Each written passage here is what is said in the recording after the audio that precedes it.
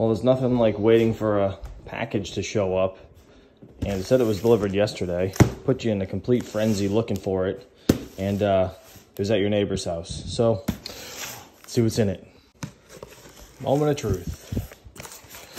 Not like we haven't seen IceRiver KS Zeros before, but ooh, look at that. That is sexy looking. You know what? I'm gonna save the rest for the full video. Check it out on my channel in a few days. Peace.